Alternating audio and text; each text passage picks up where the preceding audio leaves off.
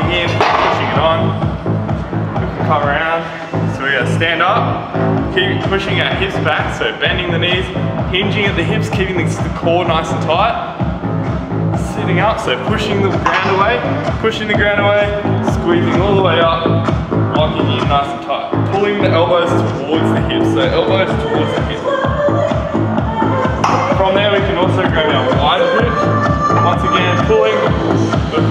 these ones, will be And if